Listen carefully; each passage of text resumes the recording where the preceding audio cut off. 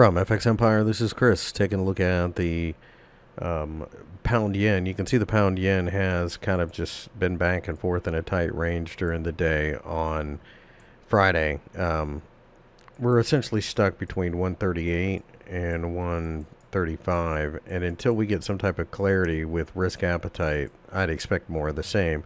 Unfortunately, Brexit is a major part of this, and we all know that, you know, that's never going to end. So um, there is an uptrend line here.